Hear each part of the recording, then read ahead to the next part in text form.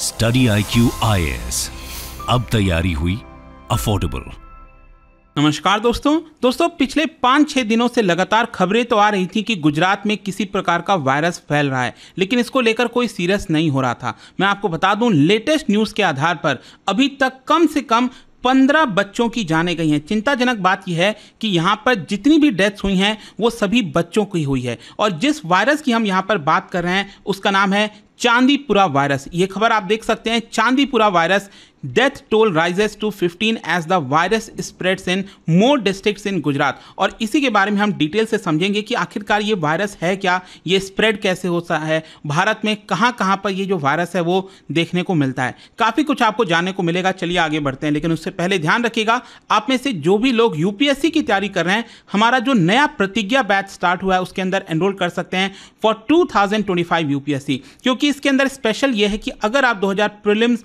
2025 का prelims crack कर लेते हैं तो जो पूरा फ़ीस है वो आपका इसके अंदर रिफंड किया जाता है, प्लस एक साल की एक्स्ट्रा वैलिडिटी आपको दी जाती है। तो ज्वाइन करने के लिए हमारे वेबसाइट ऐप पर जाइए या फिर कमेंट सेक्शन में लिंक है और आपको यूज़ करना है ये कोड अंकित लाइव, ताकि किसी भी कोर्स, किसी भी बैच में अगर आप एनरोल करते हो स्टडी आई के तो आपको उसमें मैक्सिमम डिस्काउंट मिल जाएगा। और इसके अलावा अगर आप एम अटेम्प्ट करना चाहते हैं तो मेरे इंस्टा पेज पर जाइए, वहाँ पर स्टोरीज में जितने भी एम हैं, उसको भी आप अटैम्प्ट कर पाएँगे।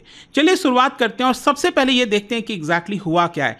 देखिए नेशनल इंस्टीट्यूट ऑफ़ वायरोलॉजी जो कि पुणे के अंदर है, उन्होंने ऑफिशियली कंफर्म कर दिया है the first death of four year old girl child देखो, क्या होता है ना कि अगर किसी भी वायरस से अगर कई सारी मृत्यु होती है तो यहाँ पर उसका ऑफिशियल आंकड़ा कैसे तय होता है? जब उसके सैंपल्स को भेजा जाता है टेस्टिंग के लिए। तो भारत के अंदर पुणे में जो नेशनल इंस्टीट्यूट ऑफ़ वायरोलॉजी है, वहाँ पर सैंपल भेजा गया और इसको कन्फर्म कर दिया गया। और आप देख सकते हैं, गुजरात के द्वारा बताया गया है कि करीब बारह ज़िले में ऑलरेडी ये फैल चुका है, जिसकी वजह से पंद्रह बच्चों की जाने गई हैं। और साथ ही साथ वेडनेसडे को भी यहाँ पर जो स्टेट हेल्थ डिपार्टमेंट है, उन्होंने बताया बताया कि जो टोटल सस्पेक्ट सस्पेक्टेड केसेस हैं इसके, वो करीब 29 के आसपास हैं। अब देखो, चिंताजनक बात यही है, क्योंकि ये जो वायरस है ना, चांदीपुरा वायरस इसकी वजह से आप समझिए 50 परसेंट की मोर्टैलिटी होती है। 50 परसेंट की मोर्टैलिटी का मतलब हो गया कि अगर 100 लोगों को ये वायरस होगा तो कम से कम 50 लोग इसमें मारे जाते हैं। अभी तक कुछ ऐसा ही आंकड़ा देखने को मिला है। मतलब 29 अभी तक केसेस आए हैं, जिसमें से 15 बच्चों की ऑलरेडी जाने चली गई हैं। साथ ही साथ यहाँ पर जो गुजरात का हेल्थ डिपार्टमेंट है डॉक्टर्स हैं गवर्नमेंट हॉस्पिटल्स के, उनका ऐसा मानना है कि आगे आने वाले दिनों में ये वायरस और भी डिस्ट्रिक्ट में फैलेगा। स्पेशली आप देख सकते हो, अहमदाबाद में भी ये वायरस एक्चुअली फैला है, जहाँ पर एक सिविल हॉस्पिटल में एक बच्चे की जान गई है। और गुजरात के अंदर आप देख पाओगे कई सारे डिस्ट्रिक्ट के अंदर, चाहे सबरकाठा हो, महसाना हो, राजकोट हो, मोरबी हो, कई जिलों में यहाँ पर बच्चों की मृत्यु हुई है। यहाँ पर 29 केसेस की जो हम बात कर रहे हैं ना, इसमें से 26 केस गुजरात से बिलोंग करते हैं और दो राजस्थान से और एक केस मध्य प्रदेश से। जहाँ तक 15 डेथ्स का सवाल है, जिसमें से 13 डेथ्स गुजरात से हुई हैं और एक डेथ हुआ है जो नेबरिंग स्टेट है, पास वाला पड़ोसी जो राज्य है, मध्य प्रदेश और एक डेथ हुआ है राजस्थान से। यहाँ पर अगेन आप देख पाओगे जो पूरा आंकड़ा है कि गुजरात के कौन कौन से डिस्ट्रिक्ट में कहाँ पर कितनी मृत्यु हुई और राजस्थान और साथ ही साथ मध्य प्रदेश में, वो आप देख सकते हैं। खैर क्वेश्चन अब यहाँ पर यह है कि जो चांदीपुरा वायरस है, जिसको शॉर्ट में C H P V infection कहा जा रहा है, ये कैसे होता है बेसिकली देखो, यहाँ पर C H P V Chandipura virus basically rhabdoviridae family से बिलोंग करता है। मतलब इस फैमिली के अंदर कई प्रकार के वायरस आते हैं, जिसमें से एक वायरस लीसा वायरस भी होता है, जिससे आपने रेबीज के बारे में सुना होगा। तो रेबीज एक्चुअली लीसा वायरस की वजह से होता है। तो यहाँ पर जो रेप्डोविरेडी फैमिली है, उसके अंदर कई वायरस आते हैं, जिसमें लीसा वायरस है, और ये जो चांदीपुरा वायरस है, वो भी इसी फैमिली से बिलोंग करता है। अब क्वेश्चन ये है कि ये फैलता कैसे है? देखो, यहाँ पर कई प्रकार के जो सैंड फ्लाइज होते हैं, सैंड फ्लाइज का मतलब हो गया कि जैसे कोई, जैसे मच्छर, मक्खी, इस तरह की जितनी छोटी छोटी जो कीड़े, फतिंगे सब होते हैं ना, उनको सैंड फ्लाइज कहा जाता है। तो इसमें कई प्रकार के जो सेवरल स्पीसीज हैं सैंड फ्लाइज के, जैसे कि फ्लेबोटोमाइन सैंड फ्लाई हो गया, इसके अलावा फ्लेबोटोमस पैपते से ही हो गया, और साथ ही साथ जो मॉस्किटो है जैसे कि एडिस इजिप्टी मच, मच्छर हो गया जैसे कि आपने डेंग, के बारे में सुना होगा।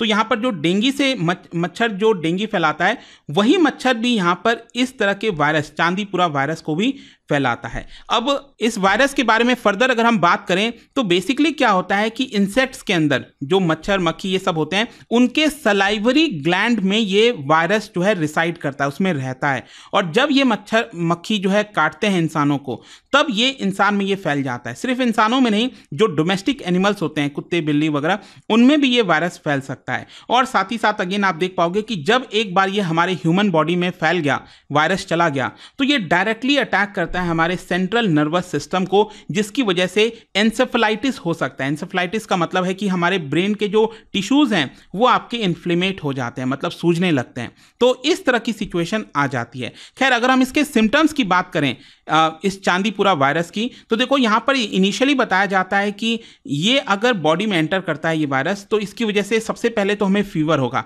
नॉर्मली ज़्यादातर केसेस में यही होता है कि हमें बुखार होता है बॉडी में पेन होता है हेडेक होता है। और इसके बाद यहाँ पर प्रोग्रेस करके हमारे बॉडी में सीजर्स भी आ सकते हैं इंसेफ्लाइटिस हो सकता है, जो मैंने आपको अभी बताया। और यहाँ पर फर्दर बताया गया है कि सिम्टम्स में रेस्पिरेटरी प्रॉब्लम भी होता है। मतलब सांस लेने में तकलीफ़ हो गई ब्लीडिंग टेंडेंसीज हो गई एनीमिया हो गया मतलब कि हमारे बॉडी में जो रेड ब्लड सेल्स की कमी है, वो भी स्टार्ट हो जाती है। और अल्टीमेटली देखो इसमें प्रॉब्लम क्या है? प्रॉब्लम यह है कि एक बार अगर एनसेफेलाइटिस हो गया बॉडी में तो अगले 24 से 48 घंटे के अंदर पर्सन की मृत्यु हो सकती है, ठीक है? तो ये हमें थोड़ा समझना ज़रूरी है और इसीलिए आप देख सकते हो यहाँ पर बच्चों को बहुत ज़्यादा ये अटैक करता है, स्पेशली 15 साल के नीचे के जो बच्चे हैं, उनको ये ज़्यादातर देखने को मिला। और इस बार भी करीब जितने भी 15 डेथ्स हुई हैं, उसमें सभी बच्चे आपको देखने को मिलेंगे। तो यहाँ पर बच्चों को प्रोटेक्ट करना काफ़ी इंपॉर्टेंट हो जाता है। खैर, अगर हम बात करें कि इस इन्फेक्शन को कैसे मैनेज किया जाए, देखो यहाँ पर इसको सिम सिंपटोमेटिकली मैनेज करना हमें पड़ेगा, क्योंकि इसका कोई भी एंटी रेट्रोवायरल थेरेपी नहीं है कि हम कोई वैक्सीन वगैरह दे दें तो इससे बच्चे सेफ़ हो जाएँगे। इसका अभी तक कोई वैक्सीन वगैरह नहीं है। और इसी की वजह से क्या होता है कि यहाँ पर जो ब्रेन इन्फ्लेमेशन वगैरह है, मैंने आपको बताया, जो ब्रेन के टिश्यूज़ वगैरह सूझ जाते हैं तो उसको एक तरह से मैनेज करना सबसे इंपॉर्टेंट है। अगर उसको मैनेज नहीं किया गया तो बच्चे की मृत्यु हो सकती है। साथ ही साथ जो डिज़ीज़ का प्रोग्रेशन है, वो भी बहुत तेज़ी से होता है। आप देख सकते हैं कि अगर मॉर्निंग में अगर किसी को हाई फीवर हुआ, बहुत तेज फीवर हुआ, शाम होते होते उसका जो किडनी और लीवर है, वो एक तरह से अफेक्ट हो जाएगा, वो फेल हो सकता है। एंड दैट इज़ वाई कि इस तरह के सिम्टम्स को मैनेज करना बहुत ज़्यादा मुश्किल है। तो फिर आपके मन में क्वेश्चन आएगा कि इसको प्रिवेंट कैसे किया जाए? तो देखो अल्टीमेटली हमको इसको प्रिवेंट करना पड़ेगा कैसे? जैसे नॉर्मली अगर हम देखते हैं ना कि मानसून वगैरह के सीज़न में जहाँ पर पानी वगैरह कलेक्ट हो जाता है, मच्छर बढ़ने के चांसेस ज़्यादा होते हैं तो वही सेम चीज़ है यहाँ पर कि हमें मच्छर को पनपने नहीं देना है। यहाँ पर जो ब्रीडिंग साइट्स वगैरह होते हैं, उसको हटाना है। जो इंसेक्टिसाइड्स वगैरह हैं, आसपास के एरिया में छिड़कना है, साफ़ सुथरा रखना है एनवायरमेंट कंट्रोल करना है, जो वेस्ट वगैरह है, सब कुछ अच्छे से डिस्पोज करना है। तो मच्छर मच्छी आसपास ना हो, उससे काफ़ी हद तक चीज़ें प्रिवेंट हो सकती हैं। और ज़ाहिर सी बात है, जो रेपेलेंट हो गया नेट्स हो गया, जिससे हम मच्छर को दूर रख सकें, उस तरह की चीज़ों का अगर हम इस्तेमाल करें तो वही एक तरह से प्रिवेंशन हम कर सकते हैं। खैर, अगर हम बात करें भारत के अंदर, कौन से सबसे ज़्यादा अफेक्टेड रीजन्स है, मैं आपको बता दूँ। एक्चुअली इसका जो नाम है ना, चांदीपुरा। वो इसका कैसे आया मैं आपको बताता हूँ। सबसे पहली बार 1965 में एक्चुअली हुआ क्या था कि महाराष्ट्र के एक जगह है, जिसका नाम है चांदीपुरा, महाराष्ट्र के अंदर। और वहाँ पर इन्वेस्टिगेशन चल रहा था डेंगी आउटब्रेक को लेकर चिकन गुनवा आउटब्रेक को लेकर। तो उसी समय पहली बार ये वायरस देखने को मिला, इसको आइसोलेट किया गया था। और क्योंकि ये महाराष्ट्र के चांदीपुरा से आइसोलेट हुआ था, इसीलिए इसका नाम पड़ गया चांदीपुरा वायरस। लेकिन मैं आपको बता दूँ, भारत में इसका सबसे बड़ा जो अटैक हुआ था, आउटब्रेक हुआ था, वो हुआ था 2003-4 में, जब महाराष्ट्र में नदन गुजरात में, आंध्र प्रदेश में लगभग 300 से ज़्यादा बच्चों की मृत्यु हुई थी। सोच के देखिए 300 से ज़्यादा बच्चों की मृत्यु हुई थी इन तीन राज्यों के अंदर। और स्पेशली गुजरात में मैं आपको बता दूँ 2004 के आउटब्रेक में जो फैटेलिटी रेट था, वो लगभग 78 परसेंट के आसपास था। आप समझिए, हर सौ बच्चे जो इन्फेक्ट हो रहे थे इस वायरस से, उसमें से अठहत्तर बच्चों की मृत्यु हो जा रही थी। आंध्र प्रदेश में आप देख सकते हो 2003 में हर सौ बच्चे में से पचपन बच्चों की मृत्यु हो जा रही थी। मतलब 50 परसेंट से ज़्यादा यहाँ पर आपको फर्टेलिटी रेट देखने को मिलता है। साथ ही साथ अगेन आप देख पाओगे यहाँ पर जो इसका मेन सेंटर है, वो आपको सेंट्रल पार्ट ऑफ़ इंडिया का देखने को मिलेगा। जहाँ पर एक्चुअली क्या होता है ना स्पेशली रूरल एरियाज़ में ट्राइबल एरियाज़ में, जहाँ पर मक मच्छी मक्खी, मच्छर जो है, पनपने के चांसेस ज़्यादा होते हैं। स्पेशली क्या होता है रूरल एरियाज़ वगैरह में आपने देखा होगा, जो झोपड़ी वगैरह बनाई जाती है, वहाँ पर गोबर के लेप लगाए जाते हैं। तो उसकी वजह से मक्खी, मच्छर कई बार क्या होता है कि वो भी कई बार अट्रैक्ट हो जाते हैं, जो काउ डंग वगैरह होता है, वो भी इस्तेमाल कई बार किया जाता है। तो इसकी वजह से जो सैंड फ्लाइज वगैरह हैं, वो अट्रैक्ट हो जाते हैं। और स्पेशली क्या है कि मानसून का सीज़न इस समय चल रहा है तो यहाँ पर इनके मल्टीप्लाई होने के चांसेस काफ़ी ज़्यादा होते हैं। तो इसकी वजह से स्पेशली जो आउटर एरियाज़ होते हैं, शहरों के बाहर के जो एरियाज़ होते हैं, वहाँ पर इसके चांसेस काफ़ी ज़्यादा आपको देखने को मिलेंगे। खैर क्वेश्चन अब यहाँ पर ये भी है लास्ट में कि क्या ये जो डिसीज़ है, ये क्या इसने अपना पैटर्न चेंज किया है? बिल्कुल डॉक्टर्स का ऐसा मानना है क्योंकि मैं आपको बताता हूँ, जैसे सैंड फ्लाइज वगैरह की अगर हम बात करें तो डॉक्टर्स का ये कहना है कि ये तीन फीट से ज़्यादा नॉर्मली ये उड़ नहीं पाते। लेकिन आजकल क्या देखने को मिला है कि ये छत पर भी पाए जाते हैं, ये काफ़ी ऊँचे हाइट पर भी पाए जाते हैं तो ये चेंज हुआ है। साथ ही साथ यहाँ पर जो अभी डेथ्स हुई हैं गुजरात के अंदर, उसमें से दो डेथ इसकी वजह से हुई है बिकॉज़ ऑफ़ ब्रेन हैमरेज पहले जब ये चांदीपुरा वायरस फैलता था तो ब्रेन हैमरेज कभी देखने को नहीं मिलता था। लेकिन पहली बार ऐसा देखने को मिल रहा है कि इसकी वजह से ब्रेन हैमरेज भी हो रहा है। और साथ ही साथ यहाँ पर जिन जगहों पर पहले ये वायरस नहीं पाया गया था, वहाँ पर भी ये फैल रहा है। जैसे गुजरात के कई सारे ट्राइबल एरियाज़ में, जैसे पावागढ़ हो गया, ठीक है, गोधरा हो गया, वहाँ पर भी ये देखने को मिले हैं। तो कहीं ना कहीं इसके प्रोटेक्शन की काफ़ी ज़्यादा आवश्यकता है एंड आई होप कि इस वीडियो के माध्यम से आपको चांदीपुरा वायरस के बारे में हर हर एक चीज़ समझ में आ गई होगी। और जाने से पहले एक इंटरेस्टिंग क्वेश्चन क्या बता सकते हो which of the following disease is transmitted by CC flies जो सीसी मक्खी होती है, उसकी वजह से कौन सा डिज़ीज़ ट्रांसमिट होता है, ये आपको बताना है। इसका राइट आंसर आप सबको पता है, मेरे इंस्टाग्राम पर तो मिलेगा ही। वहाँ पर अगर आप नहीं हो, कोई बात नहीं टेलीग्राम से ले सकते हैं इसका सही उत्तर।